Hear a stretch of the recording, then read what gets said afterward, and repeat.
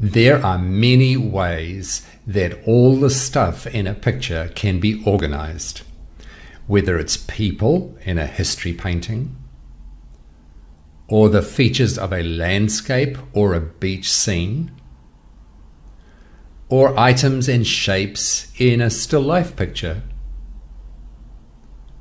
or a person and their surroundings in a figure study or a portrait. Over time, artists have learned lots of options for organizing where things go and how things look to create a total picture that conveys the energy and the mood they want, the feelings that suit their theme. Today, I'm going to break down the picture making menu for dynamic compositions. Before going any further, let's make sure we understand this word composition. When we talk about the composition of a picture, we are talking about how all the parts of the picture are arranged, where they are placed in relation to each other, and in relation to the overall shape of the picture and the edges of the picture. Put very simply, composition is the artist's process of deciding what goes where in their picture. Let's take a look at the different composition decisions made by the artist of these two frescoes. The one on the left is of a seated woman spinning yarn. It's restful and somewhat formal. How did she achieve this?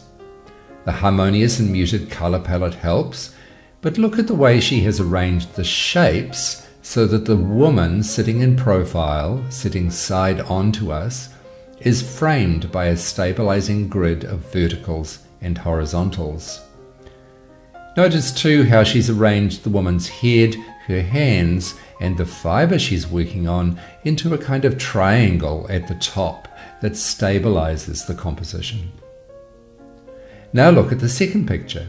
Here, two women are working in the field, and it's a much more active scene. In fact, the artist has made it look like quite energetic work because the arms, legs, and folds of the clothing all echo the diagonal thrust of the hoe digging the soil in the bottom corner.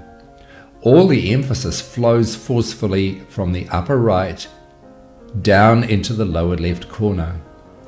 Look at the buildings in the background. She also creates this emphasis from deep space behind the woman to the close up corner in the bottom left. This arrangement of shapes creates a feeling of energy and movement. Now, if you're new to my channel and you enjoy this video as you are watching, please consider subscribing and hit the notification bell so you don't miss out on my future videos about artists, art methods, and lesson ideas. If we want to create a picture with strong movement energy, what are our options? And by movement energy, I mean physical movement, like dancing or running, and emotional movement, like joyfulness or anger or fear, and psychological energy, like uncertainty, tension, or instability. I've broken this down into two sections, structures and shapes. Structure deals with the overall compositional framework, the big picture. Dynamic structures are usually asymmetrical. My dynamic shapes section deals with how each object or person or the various smaller parts of the picture or sculpture are shaped to echo the asymmetric structure and to amplify the dynamic feelings you want to achieve. Here are some options for creating asymmetric compositions. Our first three examples show the use of strong diagonals to create movement energy, but all three compositions begin with a contrasting structure. Here we see a strong, perfectly vertical shape in the middle.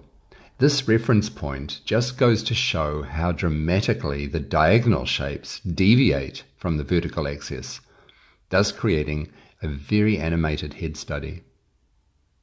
We see something similar in this abstract by Kazimir Malevich, but here the reference is the horizontal axis of the black shape, set slightly off-center so that it kick-starts the sideways asymmetric momentum.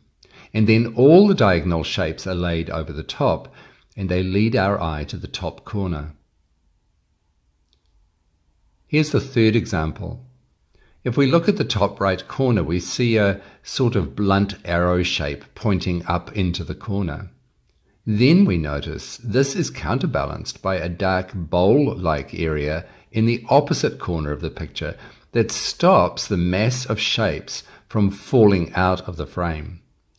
From this base, everything just seems to leap up to the top with great energy.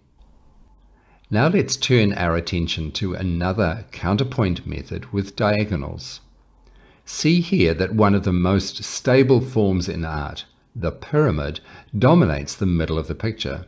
Note too that even this stable form is slightly tilted to the left, and then the artist has created a profusion of diagonal edges throughout the picture by breaking up every surface into pointy triangles that point upward in diagonal directions, both left and right.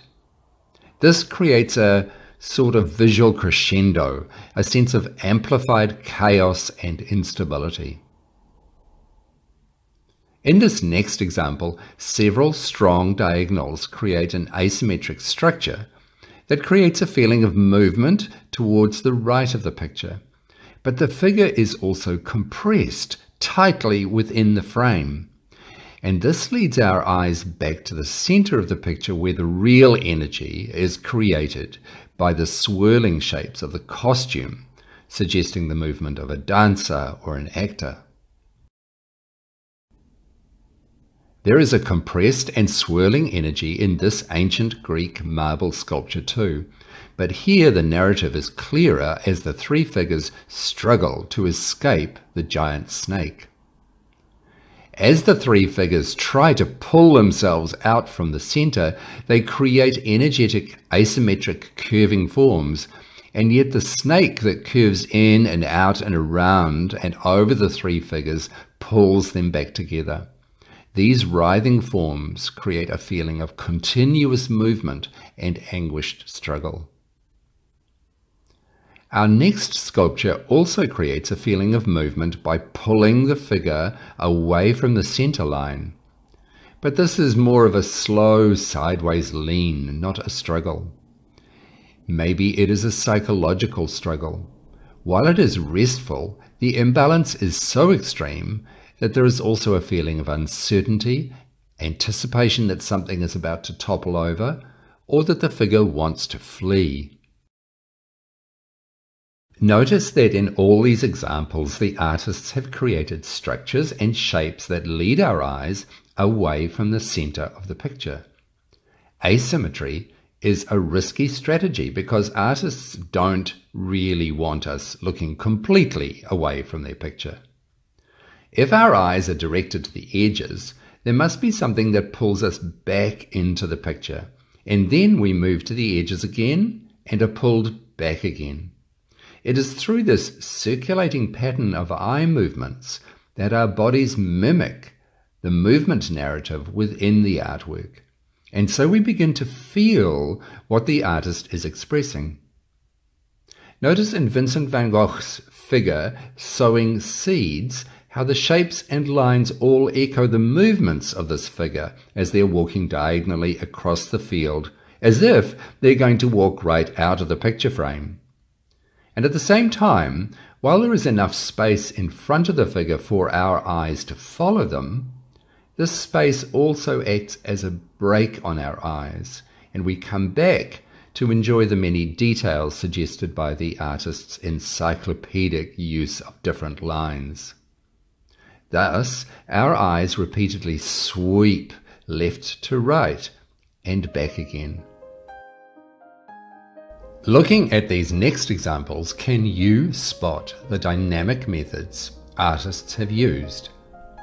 Often, artists are combining several methods in the same picture, like a diagonal structure and dominating swirls, or a diagonal structure with an explosive scattering of shapes, or a chaotic jumble of broken forms and squiggly lines so that our eyes never find a resting point. All these create feelings of movement, restlessness, and dynamism. But as we've already seen, artists are often also combining opposite energies, that is, combining some stabilizing structures or calming symmetric forms right next to their dynamic forms and structures.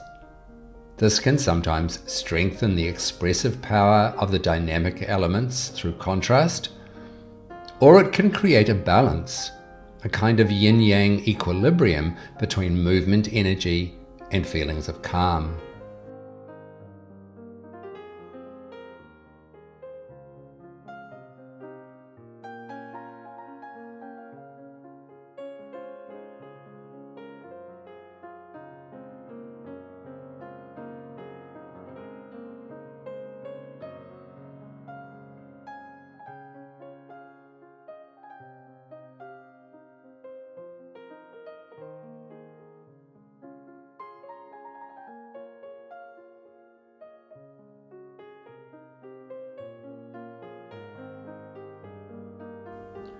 I'm going to make a second video about compositional stasis, showing how artists create calming energies in their compositions.